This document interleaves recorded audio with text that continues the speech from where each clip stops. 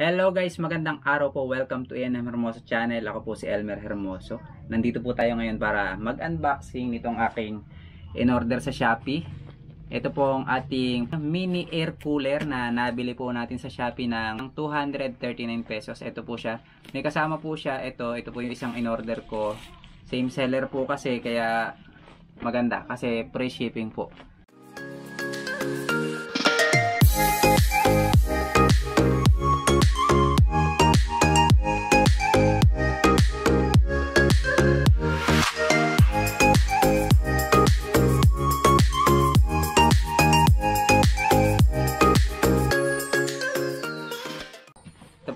Isang in-order ko ay razor po siya, rechargeable razor na Kemei. Kaya subscribe po kayo sa aking channel para po sa ating mga unboxing at saka mga honest review po tungkol sa ating mga product na binibili sa online.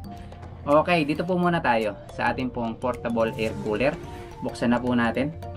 Mukhang okay naman po ang packaging niya dahil meron naman siyang bubble wrap at parang wala naman pong pingkot-pingkot yung kanya pong mga kahon. Tingnan po natin ang laman. Sana po ay okay. At tingnan po natin kung talagang giginawin po tayo dito sa ating portable air cooler. Nakasulat po dito ay great for living rooms, office, kitchen, bathroom, bedroom, basement. Tingnan natin mga kaibigan kung may katotohanan ang sinasabi nito ano. Buksan na po natin. Siyempre sa ibabaw meron po nitong mahiwagan na sa kahon. Tingnan po natin to. Ito po ang kanyang laman. Ang nag-iisang laman. Ah. Tadaan! Cable. Ito po ang ginagamit para po siya ay mag-power. Pwede natin siyang isaksak sa power bank or sa ating charger na nakasaksak sa outlet ng ating mga kurente. okay mga kaibigan, nandito na ang ating air cooler. Labas na po natin. Meron po siya mga pindutan dito. Ito po ang ating fan speed control. Low, medium, and high. Tatlo pong uh, speed ang meron po dito. Dito po sa katabi niya, meron po siyang LED control. Dito po natin pagpapalit-palitin kung anong kulay ang gusto natin gawin. Pwede po yata siyang gamitin sa gabi at magandang pang dim light pagka po tayong matutulog. At syempre, nandito ang ating pinakamalaking pindutan, ang ating switch. Okay mga kaibigan, buksan natin at silipin natin kung ano yung nasa sa loob nitong ating portable air cooler. Pagbubuksan po mga kaibigan, atin po siyang pindutin dito at atin siyang buklatin mga kaibigan. At makikita natin dyan ay meron na siyang filter. Ito po ang filter niya mga kaibigan. Yan. Inaalis po yan. Kung gusto nyo po ng talagang malamig na malamig, ayan po ay ating babasain at ating pong ilalagay sa freezer. Okay? Kung ayaw nyo maglagay sa freezer, hindi wag. hindi, pag ayaw nyo po maglagay sa freezer, lagay nyo po malamig na tubig. Ngayon mga kaibigan ay dito po sa loob, makikita po natin, nandito po yung ating fan. Para po siyang fan lang ng computer. Ayan siya.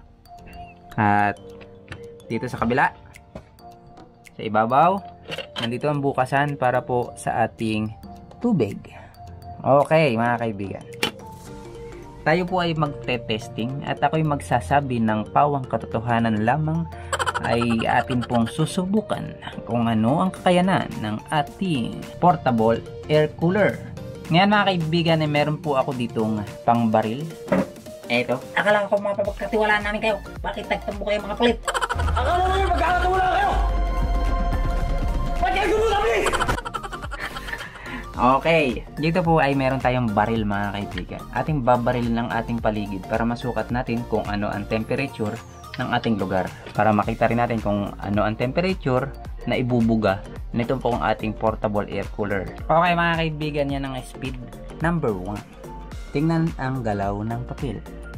Number 1 ang speed. Iyan po Number 2, Ito po ang number 2 natin. Yan po ang number 2 natin mga kaibigan. Ayan. Makikita nyo ay lumalaban na ang ating papel. Oh. Oh. Oh. Oh. Number 3.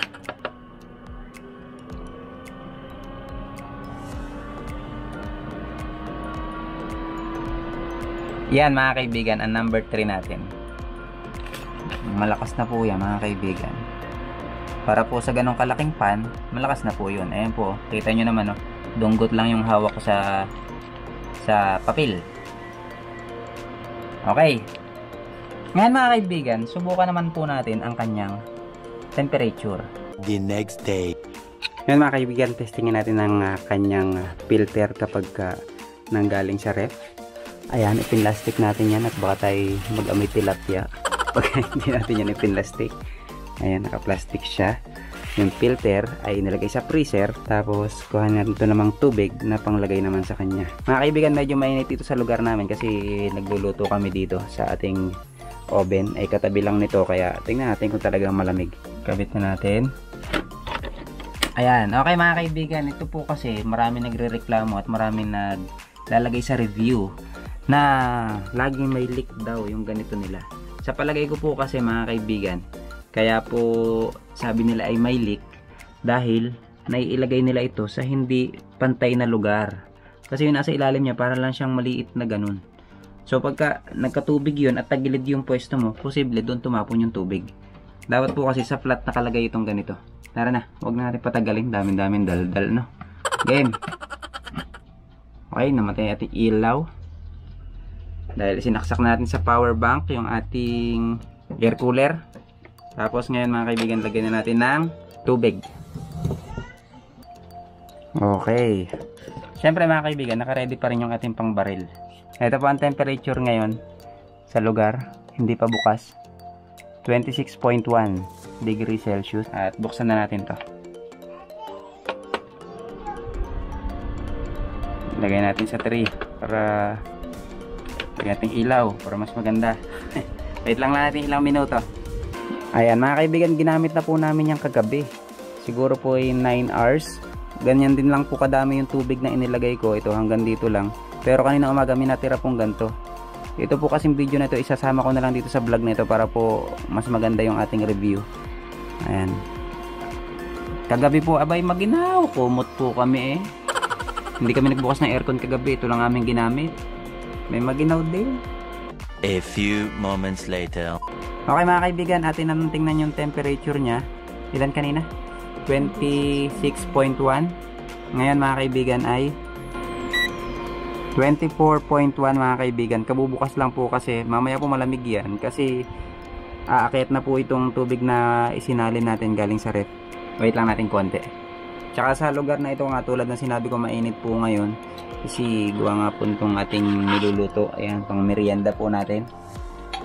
Eh, mainit po ngayon. Kaya ito lang yung nagpapalamig. Ayan o, 23.8. Palamig ng palamig mga kaibigan. Talagang malamig nga po. Okay mga kaibigan, ito po yung kadugtong nung kahapon ha. Kahapon po yung isa eh. Pero ini-update ko lang po kayo. Uh, okay naman po pala talaga.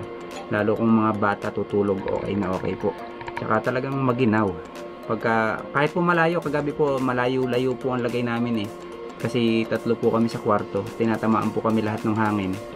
Okay naman. Nung madaling araw nga po eh, di ba, natulog kami in naka number 3 siya. Nung madaling araw po nagising ako inilagay ko pa po siya sa number 2 kasi maginaw na po. Okay mga kaibigan hanggang dito na lang. Sana po kayo natulungan itong aking video at sana po kayo nakapag-decide kung gusto po bumili nito o ayaw. Para sa akin po okay po ito. Ingat po kayong lahat. Bye bye po and God bless